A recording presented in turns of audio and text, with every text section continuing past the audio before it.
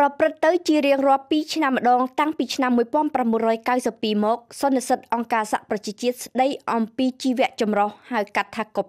16 បានការចូលរួមជាលើកទី1ពីសំណាក់ប្រមុខរដ្ឋរដ្ឋាភិបាលចំនួនជាង10ប្រទេសមានជាអាចប្រធានាធិបតីប្រេស៊ីលលូឡាក្បែរបណ្ដារដ្ឋមន្ត្រីជាង100ប្រទេសផ្សេងទៀតព្រមទាំងអ្នកការទូតអ្នកជំនាញសកម្មជនបរិស្ថានអង្គការសហគ្រាសនានាសរុបជាង18000នាក់ ជំនួបដ៏ធំសម្បើមនេះជាឱកាសពិចារណាថាតើត្រូវធ្វើដោយម្ដេចប្រែក្លាយកម្មវត្ថុកំណត់ហើយឲ្យក្លាយទៅជាសកម្មភាពជាក់ស្ដែង កាលពីឆ្នាំ2022ក្នុងសន្និសីទជីវៈចម្រុះលើកទី15នៅទីក្រុងម៉ុងរ៉េអាល់ប្រទេសកាណាដាសមាជិកអង្គការសហប្រជាជាតិទាំងអស់បានអនុម័តកិច្ចព្រមព្រៀងក្នុងក្របខ័ណ្ឌពិភពលោកការពារជីវៈចម្រុះ មានមហិច្ឆតាខ្លាំងកិច្ចព្រមព្រៀងឈ្មោះគូមីងម៉ុងរ៉េអាល់ដែលជាផែនទីចង្អុលផ្លូវមានកម្មវត្ថុ23ចំណុចសម្រាប់ឈានទៅបញ្ឈប់ការបំផ្លិចបំផ្លាញផែនដី មហាសមុទ្រ30%និងស្ដារប្រព័ន្ធអេកូសាសជីវិតសត្វរុក្ខជាតិគ្រប់ប្រភេទឲ្យបាន30%ដែរនៅឆ្នាំ2030ហើយកាត់បន្ថយការប្រើប្រាស់ថ្នាំសម្លាប់សត្វល្អិតឲ្យបានពាក់កណ្ដាលព្រមទាំងប្រមូលថវិកាឲ្យបាន25,000លានដុល្លារក្នុងមួយឆ្នាំដើម្បីធម្មជាតិលក្ខនឹងលក្ខកិច្ចសន្យាមានអាយុ2ឆ្នាំហើយហើយពួកគេមានពេលត្រឹមតែ6ឆ្នាំទៀតប៉ុណ្ណោះតើមានអ្វីជឿនលឿនទៅមុខខ្លះទេ ចម្លើយគ្មានការជឿនលឿនប៉ុន្មានឡើយបើតាមអង្គការ WWF ពេលវេលាកាន់តែខូចជីវៈចម្រុះហិនហោចកាន់តែលឿន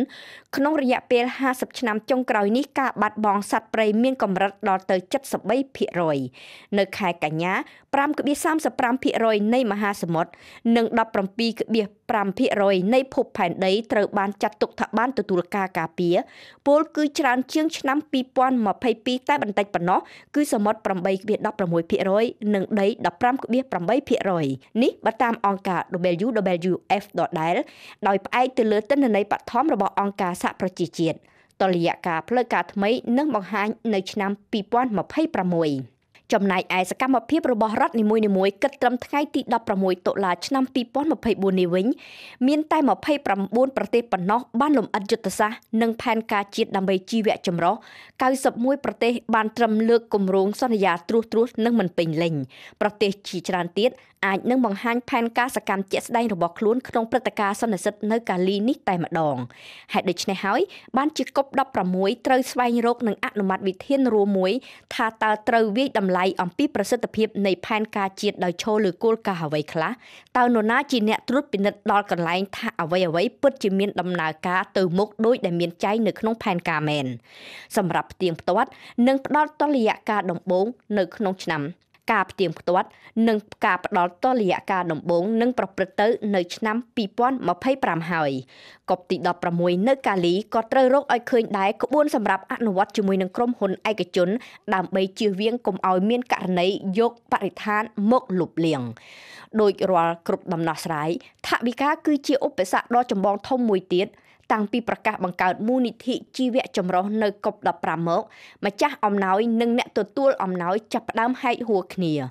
ប្រទេសទទួលជំនួយចង់ឲ្យមានមូលនិធិដើម្បីបរិស្ថានពិភពលោកមានឯករាជ្យនិងមានអភិបាលកិច្ចផ្ទាល់ខ្លួន តែប្រទេសអ្នកផ្ដល់វិភាគទានចង់ឲ្យស្ថាប័ននេះស្ថិតនៅជាផ្នែកមួយរបស់អង្គការជារឿងតូចតាចមែនតែការជជែកឡើងតឹងសរសៃកខ្លាំងដោយចំណាយពេលនិងធមពលអស់ច្រើនណាស់ ហើយពេលនេះលុយទើបតែនឹងហូរចូលហឹបមូលនិធិបានប្រមាណ400លានដុល្លារតែប៉ុណ្ណោះឆ្ងាយពីកម្មវត្ថុ